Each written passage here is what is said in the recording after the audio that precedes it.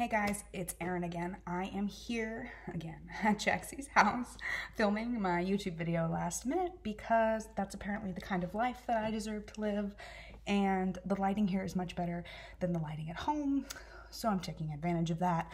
Um, as you can see, it's dreary out and I have about half an hour before nap time is over so I'm going to try and knock out this video as quick as possible. So welcome back. I'm Erin as you know, I am the word traveler, and as you can tell from the title above, the video, the title of this video is Why Do I Do This to Myself? So basically, what this video is going to entail is my October TBR and why I did this to myself. So, anywhere from buddy reads to arcs, you will find out um, why a book is on my TBR for this month and why I did this to myself because I did do this to myself. This is my fault. So, um, I got my pile here. So I'm going to be pulling and showing.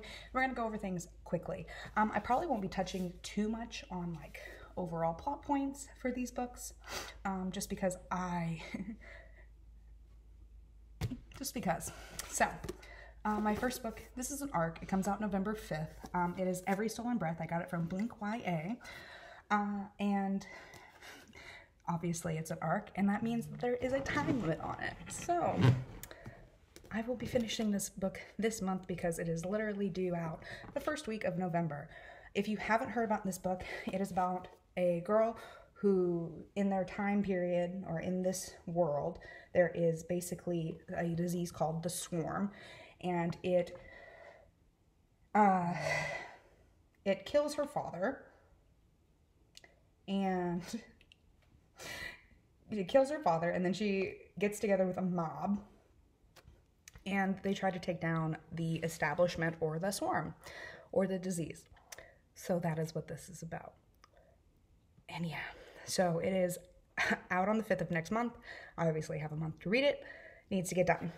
Um, I'll just state it now. There's quite a few arcs that are e arcs that I will not be touching on that are also due at the end of this month, or they come out the first week of November, or they come out sometime in October, and they will also have to be read. So, obviously, I don't have to touch on this one because it's pretty popular. The Bone Houses. It is the perfect October read. I have been waiting for the Bone Houses forever. Um, my friend Kelsey talked about it highly and now I'm obsessed with it, and it has to be read in October. So, this one isn't very much a pressure read, like, this could easily be pushed off till next month, but I'm very excited about it and I want it to be read. Why do I do this to myself? um, next up is The Whisper Man. I've heard nothing but amazing things about this book. I am very excited to finally own it. I purchased it when it came out, and I set it aside to read it in October because it is a spooky read, and October is a spooky month. And I'm actually reading this with a uh, real in real life friend because she wanted to read it too, and she is now waiting for me. So this book will have to get read this month. This month, I'm sure my friend would understand if I put it off until next month. But why would I do that? So the Whisper Man, Book 3. A Curse So Dark and Lonely. I should have started this one at the beginning of October because I am reading it with my book group. I have had this book forever and have not picked it up yet, and I'm sad I have not picked it up yet. I have been excited about it since I bought it, which was like seven or eight months ago, and I haven't gotten a chance to read it yet. It just keeps getting pushed to the back, to the back, to the back, to the back. My book club is reading it now because book two comes out, I believe, next month or the month following. And I am really excited to read it. So it'll get read this month at some point or another. A Curse of Dark and Lonely.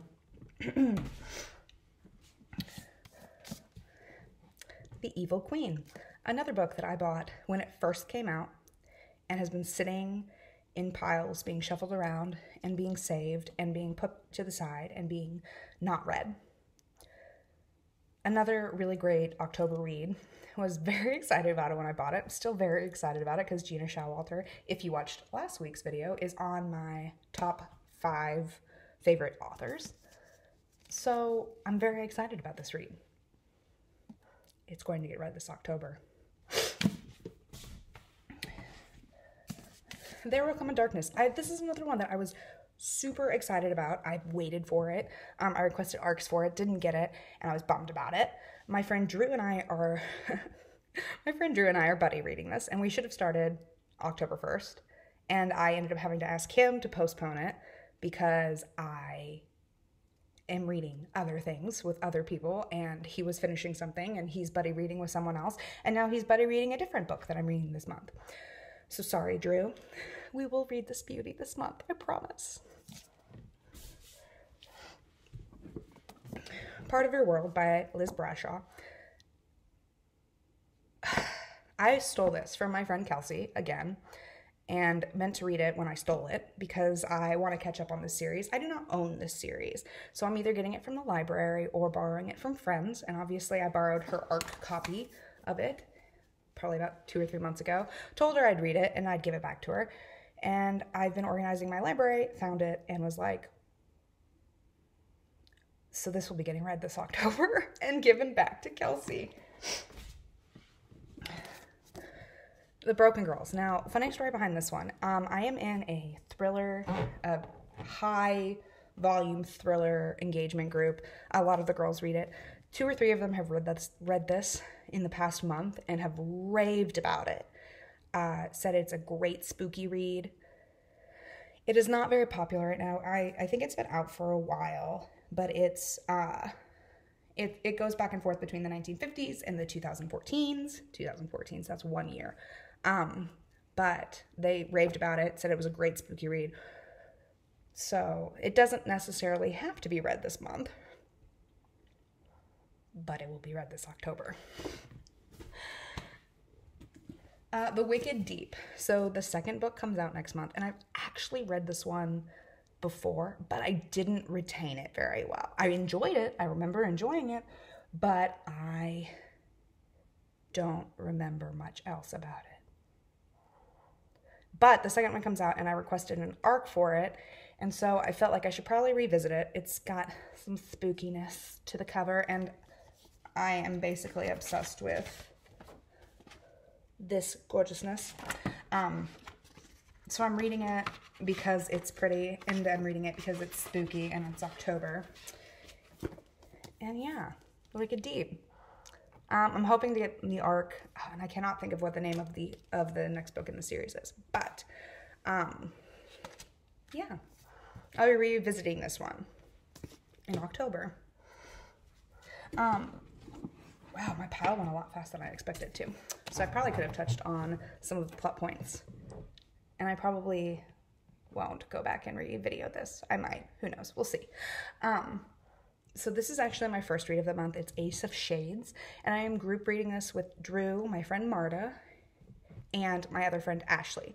Drew and Marta both have uh, YouTube or booktube channels, um, and I'll be linking them in the link below so you guys can go check out their channels as well. They're super funny, super fun. I really enjoy them. Um, so Ace of Shades has been sitting on my shelf for a while as well.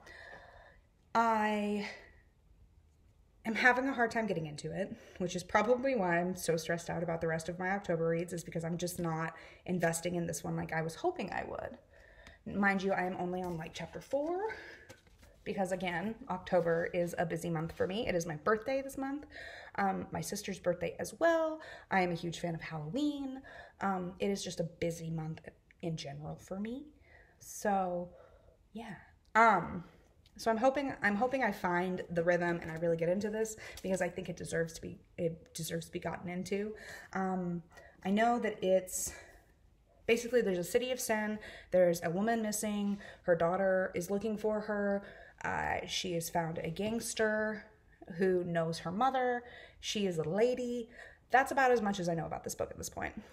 So i'm hoping it picks up. I'm hoping it gets better. I have been reading the comments in the group message and everyone says that it is good so far. So maybe i just haven't found it yet. But this is my first read of october that and I'm also reading an arc called Call Me Maybe. So yeah, I think I have uh, like six arcs that need to be read in October as well. So that's fun. I actually had to go get a calendar to kind of break down and highlight what books are due when because I have missed like two that I received from NetGalley that were supposed to be turned in in September and didn't get read because I wasn't paying attention. So, organization is key here, ladies and gentlemen. But I am very excited about a lot of my reads on my list. I'm very excited to get into them. And I'm hoping October is friendly to me. And I know I probably won't read all of these books, which is kind of a sucky feeling. Like you always feel kind of bad when you put a book on your TBR and they're like, it's like, it's time. I'm finally getting read. And they don't actually get read. So, yeah. Um, next week, I'm hoping to film in my library setting. We're going to IKEA tomorrow to get a couple more shelves. I believe Ryan is working on my pallet bed that will be in my library as well. I do not know that for a fact because it is in fact raining out. So I'm not sure if he's in our crepey, kind of decrepit garage working or not. But if he is and you're watching this, honey, thank you. I appreciate you. Um, but we will be hopefully homing all of my books this weekend and I'm super excited about it. I can't wait to take you guys on a tour and I'm hoping that next week I'll be able to film in my room and not in my boss's house. So, thank you for coming, guys. As I know this was a short video, and I'm sorry about that, but yeah, I wanted to kind of let you guys see what I deal with with my TBR. And I feel really guilty. Like I, I, we were putting up books this weekend, and oh my gosh, I felt so bad because I'm like, I really should have like a read section and a TBR section, but my read section would be so small compared to the TBR section that it would be kind of embarrassing, I think.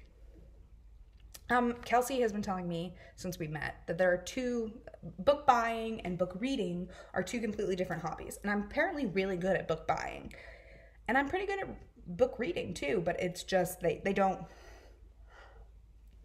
they don't uh you don't you don't see the same uh, accumulation or advancement in uh, book reading as you do book buying unless you're some you, there's a couple of girls that i i have been getting closer and closer with in the bookstagram community who literally i think eat books like they finish and i mean i i read pretty quickly i can read a 300 page romance in 24 hours if I'm into it, I I know that I can chew through a fantasy in about a day and a half if I'm really into it. I so I know that I, I read quickly.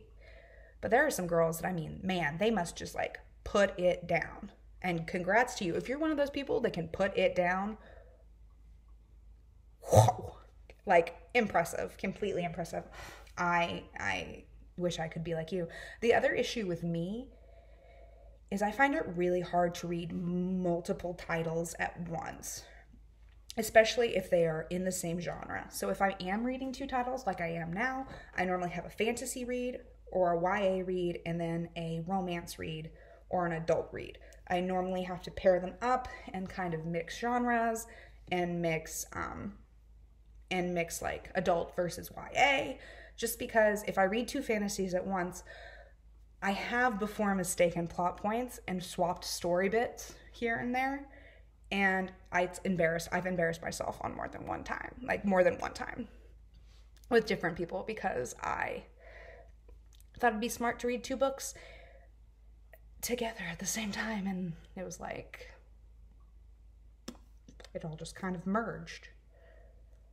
So yeah so yeah, there's there there is a reason behind my madness. There is a reason I I I make such a large TBR. I am kind of weird about like I, I see a stack and I go, okay, A, B, C, and D, this needs to be done. I need to do this with this group. But I'm also really bad about saying, hey, let's buddy read.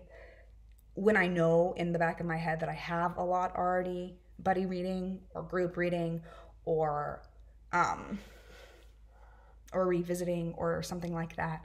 Like I technically should have Strange the Dreamer in my TBR for October, and I'm I'm guessing Nell is going to send me a very strong worded message here in a little bit because it's not in this pile. And that's because I meant to grab it and didn't. But Strange the Dreamer should be on here too, and that's like a 700 page book. Yeah. So I I I I try really hard. And I need like next month is going to be a very heavy romance month for me, I think. Like I think I'm going to take a little bit of a breather just because romances aren't as heavy and you're not needing to pull as much like and you don't want to say that they're not they're they're an easy read and I hate using the word easy or quick read because I don't think that that's fair. Romances, I feel like you don't have to pull as much fiber out of it to retain the information given. Like in a YA fantasy novel, you or a thriller even, it's it's you're solving a mystery or you're capturing a moment or you're doing something. And it's not so much that you don't do that in a romance. I don't know how to describe it. Let me think really quick. I think that romances are just easier, an easier concept for people to grasp almost. Like you're, it's, and I mean, the paranormal romances obviously throw my entire argument into the air and change everything. So ignore me, obviously, because I don't think that's a valid point. I think it's a valid point to say that romances are an easier retain for me because I I think that every reader is different. I can read and retain a romance very quickly it may take me a little bit longer to read like a YA fantasy because I really want to pick apart the story and ingrain it and kind of live it myself. I've already found my romance. Maybe that's why romance is so much easier for me to read because I've already found mine and I know that it's over because married. Um, but I don't know. But uh, for me, romances come really easy, and I know that I have some friends who read romances and they're like, I'm just absolutely, absolutely, absolutely miserable reading this. Sorry, I'm trying to get comfy. And some people who read romances and they're like, I dislike this greatly. So I think it all it it all revolves around you as a reader. That's my spiel. That was a really, really, really unneeded uh, rant. So yeah, that's my October TBR. I don't know why I did it to myself, but I did. So enjoy this video, guys. I'll see you next week. Um, I believe next week I'm going to get with Kelsey and we're going to play drunk character guessing. Still trying to come up with a really cool name for that, but we'll see. These pages take me places, and I can't wait to see where we go next. Have a great weekend, and I'll see you next Friday.